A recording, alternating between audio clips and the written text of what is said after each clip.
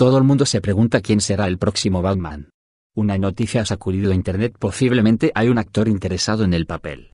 La página web Review of the Fans ha publicado que el, viernes Armie Hammer estuvo en las oficinas de Warner para negociar a un contrato de una nueva película.